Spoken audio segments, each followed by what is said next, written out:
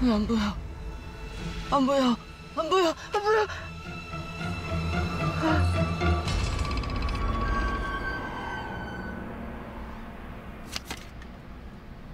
가장 빛나는 곳으로 와요. 참 빛나는 곳으로 와요? 아 뭐야? 선생님 내일 봬요. 예, 들어가세요.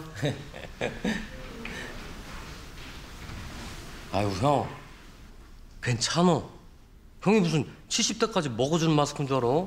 우리 센터 아이돌은 나라고 나. 그래, 그런 것 같더라. 뭐 좋아 보인다. 아니 근데 형은 안 좋아 보인다. 아 얼굴색이 왜 이래? 없는 거 없이 다 가진 사람이. 아 맞다. 근데 그 기자회견에서 그 여자 작가랑은 무슨 사이야? 정말 아무 사이도 아니야? 진짜 아무 사이 아니에요. 어? 근데 여기가 왜 가장 빛나는 곳이에요? 내가 있는 곳이니까 가장 빛나는 곳 아니겠습니까? 아, 아 나 생각났어. 내가 형을 왜 미워했었는지. 아, 인사요. 여기 있네. 친구. 친구. 친구요? 잠깐만요. 잠깐만요. 아, 아줌마 왜 이래요? 아, 아니에요. 예. 그러죠 아줌마 아니에요. 아유, 나도 알아요. 얜 나 죽일 만큼 간도 크지 않아. 죽여? 아, 누가 누구 죽여? 아 분위기 왜 이래? 헐, 진짜? 너 이거 노코멘트야. 알지? 알았어. 아 근데 대체 누구야? 자기 친구를 죽일 만큼 미워하는 사람이? 아 형은 도대체 세상을 어떻게 산 거요? 너 누구 지핀도 없어? 한둘이어야지.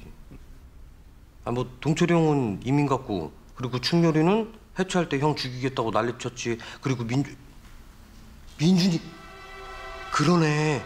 걔가 형을 제일 많이 미워하긴 했네. 형 한번 이겨보는 게 걔 소원이었잖아. 민준이?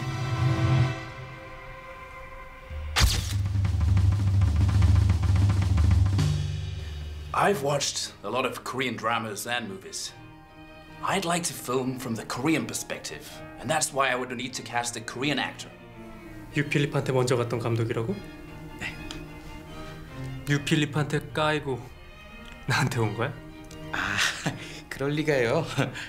필립이 깐 게 아니고 이분한테 까였대요. 그래?